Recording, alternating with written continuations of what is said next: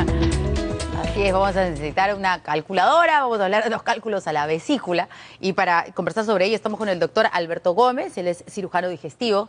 ¿Cómo está? ¿Qué tal? Muy buenos días. muchas Especialista en la paroscopía. Así es, esa es mi especialidad. Perfecto. Y sobre los cálculos a la vesícula con la paroscopía, imagino que esto va a ser- es un poquito más sencillo que hace algunos años atrás. Claro, la laparoscopía, que es una cirugía mínimamente invasiva, asegura que una- un procedimiento quirúrgico sea mucho más rápido de, de solucionar y el paciente obviamente se recupera con mucha más- mejor facilidad. Vamos a ir con una nota y luego conversamos un ratito, doctor. Muy bien.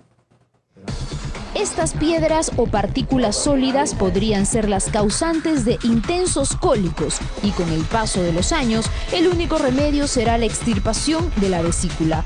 Los cálculos biliares se forman a partir de la cristalización de la bilis, sustancia producida por el hígado. Los cálculos de colesterol son los más frecuentes, aproximadamente un 80%.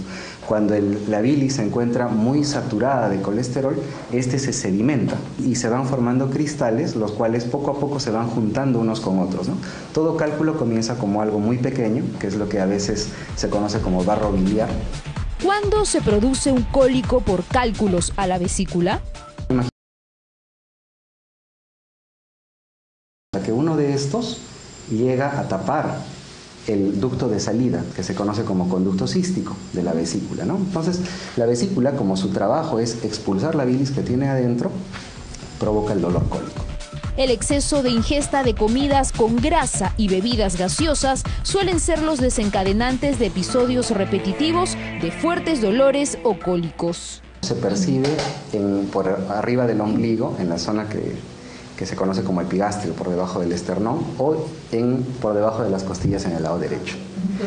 El dolor es tipo cólico, es algo como que ah, se siente que algo se está apretando. Desde una piedra hasta decenas de estas pueden albergarse en su vesícula. Un diagnóstico temprano será lo recomendable para determinar el tratamiento. Lo más común es una cirugía laparoscópica. Si bien la recuperación es rápida, luego deberá llevar una vida saludable. Parecen granos de choclo. Así es. Así tan duro puede ser Claro. lo que se forma en la vesícula. Así es. ¿Y eso es algo genético? O sea, de pronto ya las personas nacen con esa predisposición.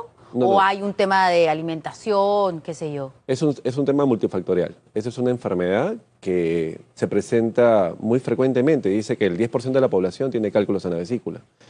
La mayoría son asintomáticos, nadie sabe que tiene cálculos. Pero estos cálculos comienzan poco a poco a producir síntomas y el primer síntoma es que la dispepsia, que es me cayó mal, me cayó pesado la comida, sobre todo después de comer grasas, y es una molestia que se refiere en la boca del estómago o un poco al costado derecho. Conforme pasan los- el tiempo y los síntomas, esta molestia ya comienza a llegar al cólico. Y el cálculo de la enfermedad por cálculos de la vesícula se presenta generalmente en mujeres, en una proporción 4 a 1 con respecto a los varones. Hoy siempre es así con todas las enfermedades, de verdad. Siempre Y- más a las mujeres que a los hombres, no entiendo por qué. Se presenta eh, más frecuentemente en personas que tienen sobrepeso y eh, gente que tiene alrededor de los 40 años. ¿no? Esa es la, la- la frecuencia mayor en, la población. Ok, y eso, y puede durar, o sea, digamos, podemos llegar a tener una- unos cólicos de cálculos a la vesícula cuando ya la situación es extrema y hay que eh, sacar la vesícula, o cuando ya sentimos estos cólicos fuertes es que todavía estamos a tiempo de poder hacer algo.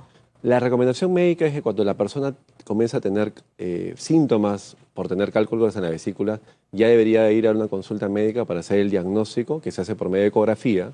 La ecografía detecta los cálculos y mediante ya el diagnóstico podemos proponer al paciente hacer un tratamiento. El tratamiento médico eh, aceptado es hacer la extirpación de la vesícula y ahora por técnicas mínimamente invasivas, que es por la paroscopía, se puede extraer la vesícula con cortes muy pequeñitos, que asegura una buena evolución postoperatoria y una, también una buena recuperación del paciente. Ok, pero te quitan la vesícula y no es como que te quitaran el apéndice, me imagino, ¿no? Entonces, ¿qué es lo que sucede?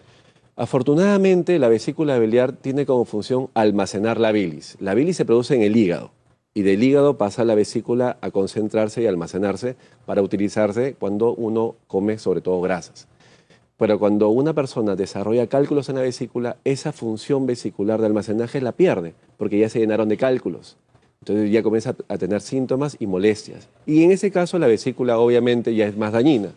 Al retirar la vesícula en una cirugía, afortunadamente, como le digo, el paciente se recupera rápidamente y en poco tiempo puede recuperar nuevamente sus funciones digestivas sin ningún problema. Ok, y entonces, o sea, el cuerpo es muy sabio. Así es. O sea, como esta vesícula no ha estado funcionando bien, es mejor que la saques y luego ese almacenaje de, de, de, bilis, de, pronto va para otro lado.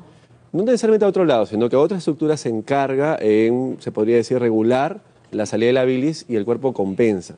Por eso es que más o menos después de aproximadamente un mes de la operación, el paciente está en condiciones nuevamente de ingerir sus alimentos de forma normal. No, tan normal.